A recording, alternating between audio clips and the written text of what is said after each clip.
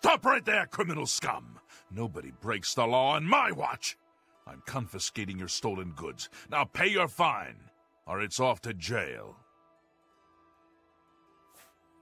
Then pay with your blood! Remember the Emperor!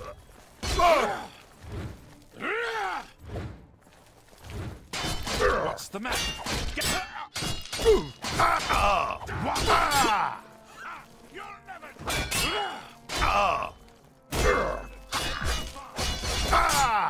Oh my goodness. E- excuse me, are you all right?